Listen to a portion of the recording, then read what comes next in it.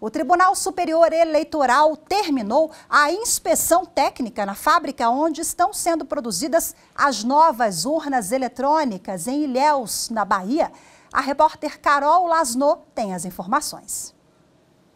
A inspeção faz parte de um controle rigoroso de qualidade aplicado durante a fabricação das urnas. Além de realizar testes em laboratório, a equipe do Ministério da Ciência, Tecnologia e Inovação visita a fábrica onde as urnas estão sendo produzidas e verifica todo o processo de produção.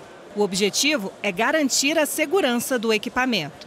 A urna não é um, não é um computador normal, tá? A urna é um é uma máquina específica, é, ela tem uma responsabilidade incrível de, de, de, é, de viabilizar a votação eletrônica. E mais do que isso, ela tem que funcionar por 10 anos, pelo menos. É, nenhum produto eletrônico é projetado para isso, tá?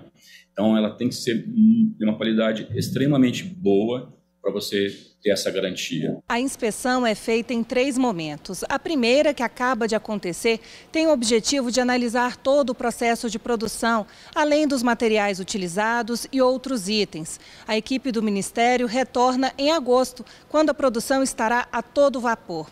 E a terceira verificação é feita no fim do processo, com quase todas as urnas já fabricadas. Você tem acompanha tanto na prototipação dos testes laboratoriais, quanto nos auxilia tecnicamente na inspeção dessas características de qualidade de produção da fábrica. Eles também podem inspecionar o processo produtivo, onde os robôs colocam e soldam os componentes uh, em Manaus, da, da placa-mãe que é fabricada lá, para verificar se eles, estão, se eles estão atendendo essas normas internacionais.